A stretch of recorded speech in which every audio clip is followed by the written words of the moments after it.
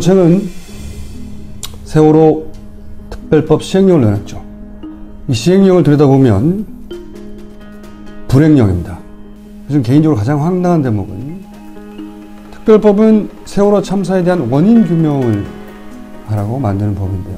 세월호 참사에 대한 정부 조사를 분석 및 조사 이렇게 정하고 있습니다. 시행령에서. 정부 조사를 못 믿겠다는 거냐?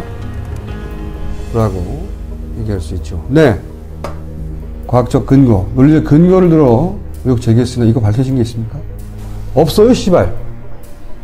그런데 시행령은 정부 조사에 대해서 들여다보라는 겁니다. 그럴 수 없다는 거죠, 저는. 그렇기 때문에 완전히 독립적인 조사가 반드시 필요한 것이고요. 그렇기 때문에 프로젝트 부 시작한 겁니다. 초기의 예상보다 검증해야 될 것이 점점 늘어납니다.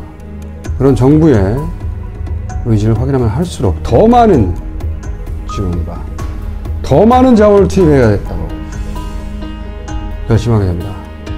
정부가 원하는 대로만은 안 될 거라는 걸 보여주고 싶습니다. 추가 분석 시작합니다.